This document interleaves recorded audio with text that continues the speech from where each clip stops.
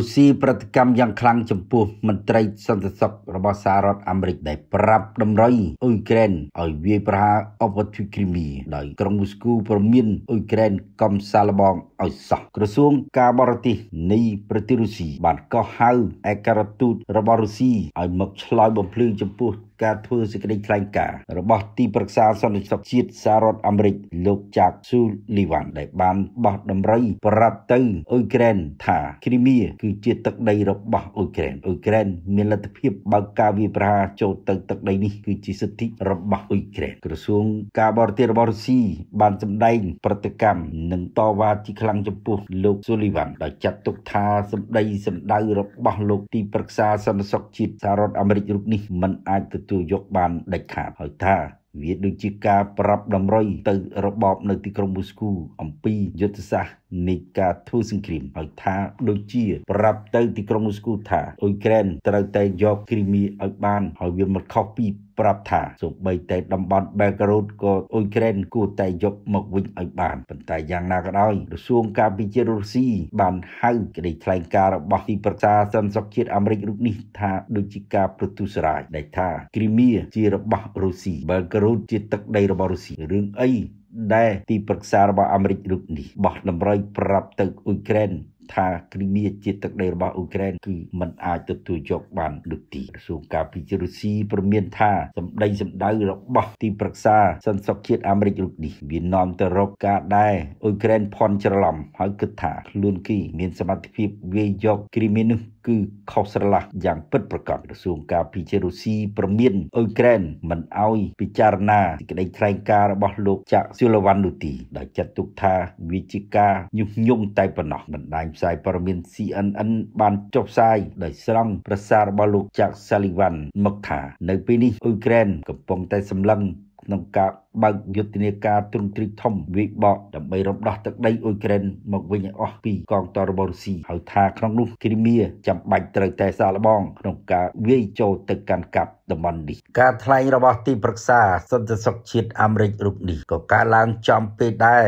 ប្រេសិតពិសេសរបស់ចិនលោកលីអ៊ុយត្រូវបានរៀបចំមកថាបានធ្វើទស្សនកិច្ចទៅជួបមន្ត្រីជាន់ខ្ពស់នៃបណ្ដាប្រទេសនៅអឺរ៉ុបជាច្រើនប្រហែលថ្ងៃចុងក្រោយហើយរហូតលោកបានធ្វើដំណើរទៅទីក្រុងមូស្គូទៀតផងនៅក្នុងជំនួបជាមួយពួកបច្ចាំប្រទេសនៅអឺរ៉ុបនោះមានមន្ត្រីការទូតម្នាក់បានបន្លយ ពាក្យថាចិនបានទទូចឲ្យពួកបច្ចាំប្រទេសទទួលស្គាល់អធិបតេយ្យភាពរបស់អ៊ុយក្រែនដែលអ៊ុយក្រែនមាននៅក្នុងដៃបច្ចុប្បន្ននេះហើយក៏ត្រូវទទួលស្គាល់អធិបតេយ្យភាពរបស់រុស្ស៊ីដែលមាននៅក្នុងដៃរបស់រុស្ស៊ីបច្ចុប្បន្ននេះផងដែរដែលមានន័យថាតំបន់មួយចំនួនដែលធ្លាក់នៅក្នុងដៃរបស់រុស្ស៊ីគឺត្រូវតែជាអធិបតេយ្យភាពរបស់រុស្ស៊ីដែលក្នុងនោះសូម្បីតែអបទិគ្រីមៀគឺស្ថិតនៅក្នុងអធិបតេយ្យភាព របស់រុស្ស៊ីរួចទៅហើយមន្ត្រីទូតរបស់ពួកប្រចាំប្រទេសនោះមិនបានបញ្ចេញឈ្មោះថាខ្លួនមានឈ្មោះអ្វីនោះទេប៉ុន្តែគាត់ថាបានជួបនឹងប្រិសិទ្ធរបស់ចិនរូបនេះហើយចិនបានបង្ហើបពាក្យដូចនេះមន្ត្រីទូតរូបនោះអាងថា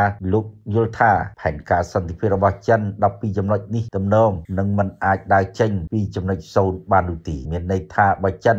នៅតែព្យាយាមបកស្រាយអធិបតេយ្យភាពដោយខុសនឹង កត្តាជាក់ស្ដែងនៃប្រវត្តិសាស្ត្រនៃព្រឹត្តិការណ៍នោះគឺมันអាចទៅរួចដូចទីយ៉ាងនេះក្តីលោកប្រេសិតរបស់ចិន ដែលបានទៅធ្វើទស្សនកិច្ចនៅទីក្រុងមូស្គូហើយបានជួបរហូតដល់រដ្ឋមន្ត្រីការបរទេសរុស្ស៊ីស៊ីហ្គេឡារ៉ូទៀតផងនោះប្រេសិតចារុកនេះបានទទូចរុស្ស៊ីថាត្រូវស្វែងរកសន្តិភាពឲ្យបានឆាប់បំផុតគឺមិនត្រូវឲ្យភ្លើងសង្គ្រាមទុះរីករាលដាលមុនការវាយលុកទ្រង់ទ្រីធំរវាងកងទ័ពនៃប្រទេសទាំងពីរនោះទេលោកស្នើថាទាំងអ៊ុយក្រែននិងរុស្ស៊ីត្រូវតែដើរ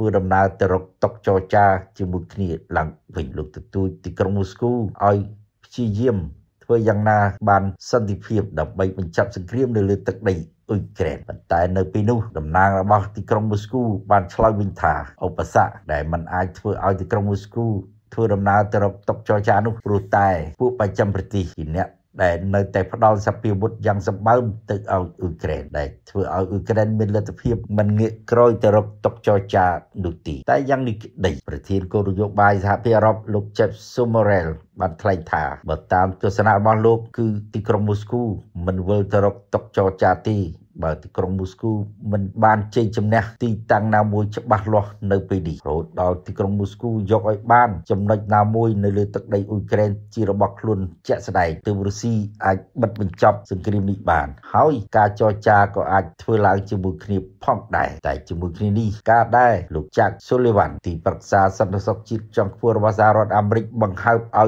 យក្រែនបើកការវាយប្រហារទៅលើឧបទ្វីបគ្រីមៀនោះក៏កើតឡើងដោយដែលមើលទៅលោកចាក់ស៊ូលីវ៉ាន់ប្រហែលជាចំទាស់ដឹកយ៉ាងខ្លាំងចំពោះការលើកឡើងរបស់ប្រេសិតចិនលោកលីហ៊ុយដែលថាឲ្យបរទេសឲ្យពួកប្រចាំប្រទេសចាប់ផ្ដើមទទួលស្គាល់ទឹកដីរបស់អ៊ុយក្រែនដែលមាននៅក្នុងដៃបច្ចុប្បន្ននេះហើយទឹកដីដែលមាននៅក្នុងដៃរបស់តបរុស្ស៊ីបច្ចុប្បន្ននេះត្រូវតែទទួលស្គាល់ជាអធិបតេយ្យរបស់រុស្ស៊ីហើយថាជាការឆ្លើយតបចំពោះកិច្ចព្រមព្រៀងដំណើរការសន្តិភាព12ចំណុចរបស់ចិននេះដោយចាត់ទុកថាមើលទៅចិនដូចជាចង់ប្រាប់ថាឧបទ្វីបគ្រីមៀជាទឹកដីស្របច្បាប់របស់រុស្ស៊ីទៅហើយនោះ គឺมันអាចទៅរួចដូចទី តែជាមួយគ្នានេះក៏គេដឹងដែរថាអ៊ុយក្រែនប្រកាសរួចស្រេចហើយថាអធិភាពនៃការវិបកទ្រង់ទ្រាយធំរបស់អ៊ុយក្រែនក្នុងនោះរាប់ទាំងឧបទ្វីបគ្រីមៀមួយផងដែរគឺដូចនឹងទីតាំងផ្សេងៗទៀតនៅអឺរ៉ុបខាងកើតក្នុងតំបន់ដុនបាសដែលពេលនេះវាធ្លាក់ក្នុងសង្គ្រាមយ៉ាងសាហាវ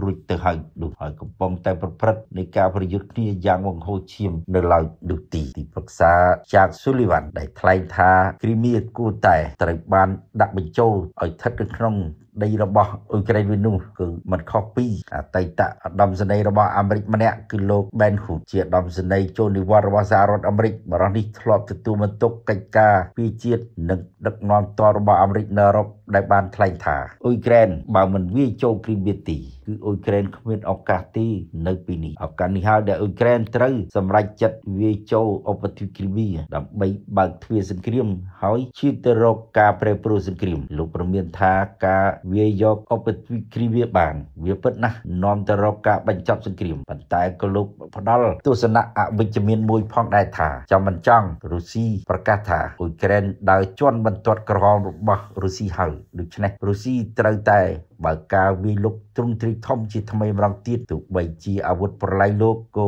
រុស្ស៊ីអាចនឹងប្រើផងដែរព្រោះរុស្ស៊ីកន្លងមកធ្លាប់បានព្រមានថាបើកងទ័ពអ៊ុយក្រែនវាយរុលចូលឧបទ្វីបគ្រីមៀមានន័យថាអ៊ុយក្រែនចាប់ផ្ដើមមកឆេះសង្គ្រាមពេញទំហឹងជាមួយរុស្ស៊ីហើយរុស្ស៊ីក៏ត្រូវតែបញ្ឆេះសង្គ្រាមពេញទំហឹងប្រឆាំងនឹងអ៊ុយក្រែននៅពេលនោះផងដែរលោកឌីមីទ្រីមេតវេនឌីវអតីតប្រធានាធិបតីរុស្ស៊ីដែលបច្ចុប្បន្នជានាយករងសន្តិសុខទី1របស់រុស្ស៊ីនោះបន្ទាប់ពីលោកវ្លាឌីមៀពូទីនបានព័ត៌មានរួចស្រេចហើយថាបើអ៊ុយក្រែនហ៊ានតែវាយចូលឧបទ្វីបគ្រីមៀគឺអ៊ុយក្រែនគ្រោះថ្នាក់យ៉ាងខ្លាំងបំផុតគឺអាវុធណាទាំងអស់ក៏រុស្ស៊ីអាចប្រើបានដែរទោះបីតែក្របនុយក្លេអ៊ែរក៏ត្រូវប្រើផុកដែរបើចូលដល់ចំណុចដែលអ៊ុយក្រែនដែលជន់បន្ទាត់ក្រហមរបស់រុស្ស៊ីទៅហើយនោះហើយសូមជម្រាបថាឧបទ្វីបគ្រីមៀមានផ្ទៃដី27000គីឡូម៉ែត្រក្រឡា មានប្រជាជនរស់នៅ2លាន4សែននាក់ ប៉ុន្តែប្រជាជនរុស្ស៊ីដែលមករស់នៅលើទឹកដីនេះតាំងពីសម័យសហភាពសូវៀតនោះគឺមានចំនួនដល់ទៅ80%បើធៀបនឹងប្រជាជនអ៊ុយក្រែននៅលើឧបទ្វីបមួយនេះគ្រីមៀបាទនៅក្នុងដៃរបស់រុស្ស៊ីក្នុងឆ្នាំ2014តាមរយៈការបោះឆ្នោតប្រជាមតិជាមួយនឹងការយល់ព្រមកាត់ទឹកដីរបស់ប្រធានាធិបតីអ៊ុយក្រែនសម័យនោះគឺលោក Viktor Yanukovych ដែលបរិះនេះកាត់ជ្រៀកទឹកដីគ្រីមៀទៅឲ្យអ៊ុយក្រែនតាមរយៈលទ្ធផលនៃការបោះឆ្នោតផ្ដាច់ខ្លួននៅថ្ងៃទី16មីនាឆ្នាំ2014ប៉ុន្តែលោក Viktor Yanukovych រួមនឹងគ្រួសាររបស់គាត់មកដល់ពេលនេះបានក្លាយជាសញ្ជាតិរបស់រុស្ស៊ីទៅហើយពួកគាត់កំពុងរស់នៅទីក្រុងមូស្គូ thank you